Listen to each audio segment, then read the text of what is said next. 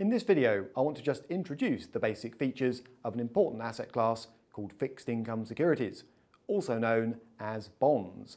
And this is the world where you find words like gilts, treasuries, corporate bonds as well. So quite a bit of jargon. All I want to do in this video is introduce most of the key bits of jargon that you need to get into this world of fixed income securities. So with no more ado, what are they? Why are they issued? Well, in essence, a fixed income security is normally issued by either a company or a government for one reason. It's to borrow money, right?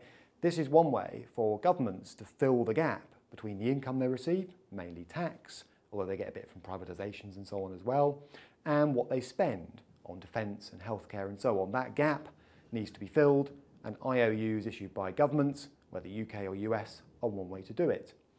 Companies use these as a source of finance too. Companies have various ways to fund their activities.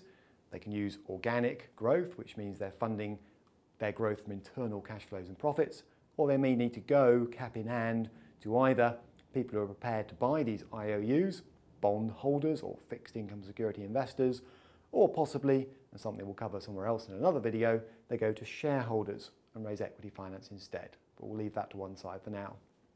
So, in essence, a good way, potentially quite a cheap way, for companies and governments to raise the cash that they need. And fixed income security gives you a clue that they're trying to do it in a predictable way from their point of view. They want to commit to fixed coupon or interest payments because that's easier to manage from a cash flow perspective. So, the question is, why would you buy them? All very well saying, well, they're issued by these people for a specific reason or a couple of reasons. Why would you buy them? Well, in brief, they're a good diversifier. Okay, that's partly because they're less volatile than equities. Now, diversification is this idea of not putting all your eggs into one basket. It's the idea of spreading your wealth around. So if one bit of your portfolio drops, another bit hopefully won't drop as much, will stay stable. So you don't want to be all in shares or all in property or all in cash and fixed income securities which behave a little bit like cash, as we'll see in a moment. You put your money in at the start, you expect to get it out after a fixed period and you earn coupons or interest in the middle, offer one way of diversifying some of your equity risk. All right? And that's principally because they're a wee bit more price stable than things like equities, but on the other hand, they offer a slightly higher return than things like cash. So perhaps a good compromise in the middle there. Stable and predictable income, well, you can get that from equities, but the problem is that um, when companies pay their shareholders dividends, the directors decide how much, and they can be suddenly cut or changed. That's much less of a risk with fixed income securities. The coupon stream that you get tends to be steady, tends to be even, and unless the issuer goes bust, you're quite likely to receive it over the term of the bond or IOU. Many are easy to trade. These days you can buy and sell these things through a broker in a very similar fashion to the way you might trade stocks and shares. Okay, big improvements in the way these things are traded as far as retail investment investors are concerned recently, and many are ISA eligible. Now we cover ISAs elsewhere in detail, but that means you can pop many of these things into an individual savings account and shelter them from both income tax and capital gains tax. Now, where do these sit on the risk return spectrum? I did mention this briefly just now, but let's just formalize it. According to a textbook, there is a trade-off between risk and return. In essence, in financial markets, the more risk you take, the higher the return you should expect. And equally, you shouldn't expect higher returns unless you're prepared to take a bit of risk. That seems reasonable. No free lunches in this world, after all. So cash tends to sit at the bottom of the spectrum. In other words, low returns. Now, people say that's because it's low risk, but beware the inflation impact on cash. Okay, um, cash isn't risk-free, but it's generally seen as more price stable, for example, than shares. Next, in a textbook come government bonds. All right. Now there is, you might say, you know, what, what's the extra risk from, a, from a, an IOU issued by the British government? I mean, the government's not going to go bust, so it's not the risk of default. True, but there is a bit of price risk, as we'll see when we cover key features in a moment. Government bonds, unlike bank accounts, can go down as well as up. Next, corporate bonds. Now, why are they next? Um, why are they above government bonds? Well, companies are a bit riskier to invest in than governments typically especially AAA rated high quality governments like the UK and the US. Companies sometimes do get it wrong. Okay, they stop being able to pay coupons, they can even go bust. Right at the top, shares.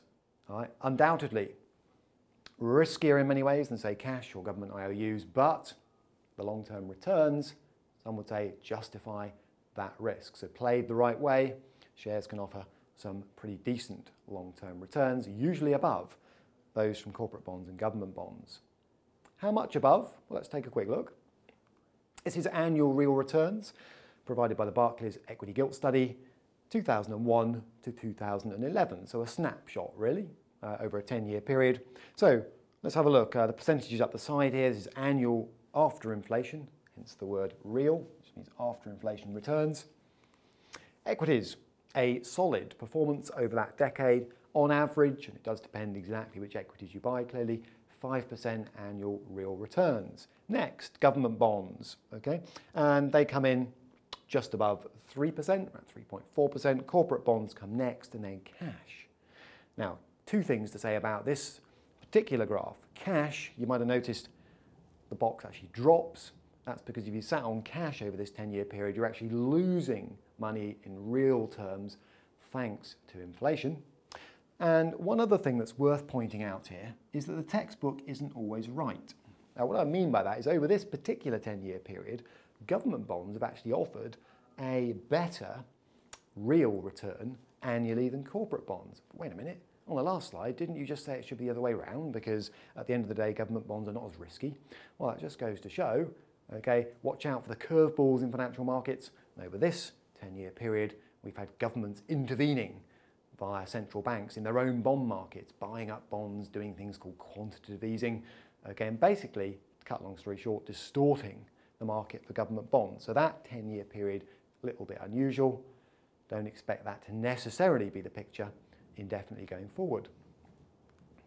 Now, some key features just to round off this introductory video.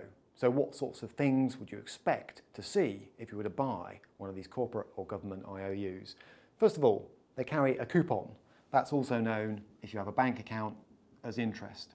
And fixed income suggests the amount of that coupon is fixed over time. It's the same amount each six months or year that you hold the bond.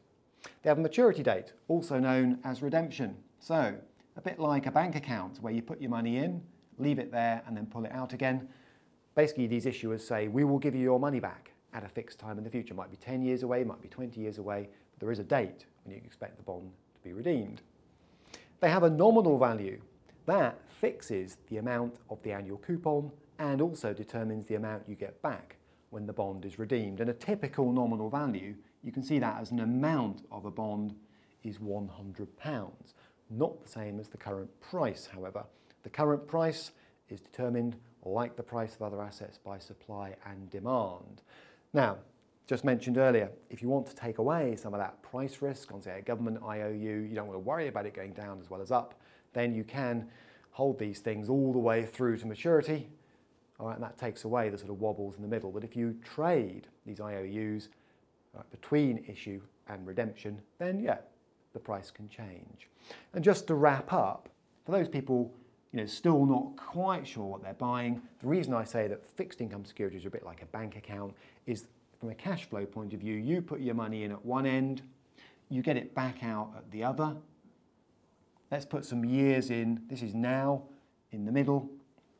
And essentially what I'm saying is if that's the end of year one, that's the end of year two, that's the end of year three, that's the end of year four, you buy the bond when it's issued, it's redeemed, you get your money back, you get your £100 nominal value back, and in the meantime, it'll pay a series of coupons, typically every six months. And in that sense, it's a little bit like holding a bank or cash account, where the pattern is fairly similar.